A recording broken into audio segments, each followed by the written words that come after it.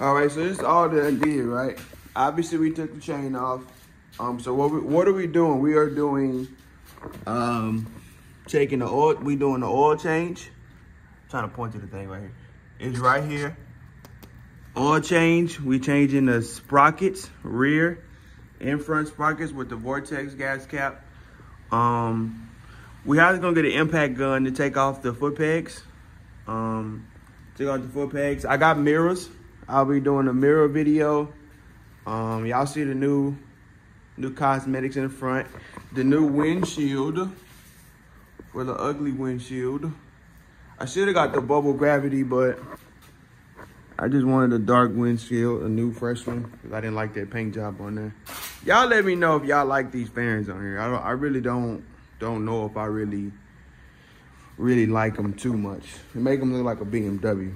Um, so what we're doing, so what I'm going to do now, so I laid out my diagram on how I took everything off because you're going to need to put this cover, this cover took so long to put, to take off.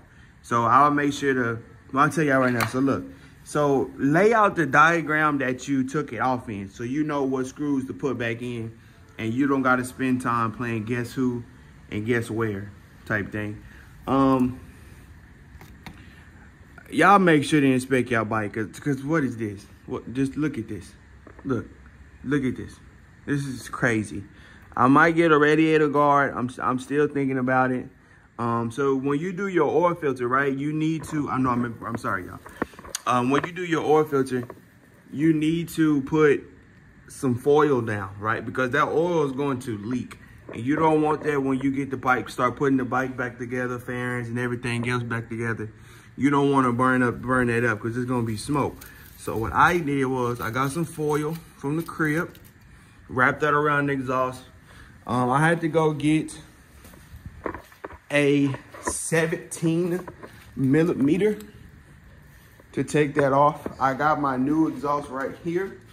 Uh, what I did was I went to AutoZone and I and I told them I have a half, half inch wrench and I got a half inch uh, 17 millimeter and I put that shit on.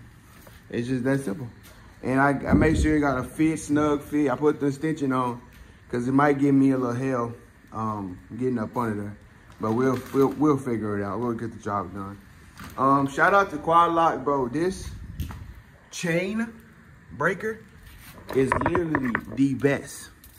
I bought one from eBay and it never looked like this. Never. So y'all make sure y'all go to Cycle Gear and get y'all chain breaker. Or you can get a saw.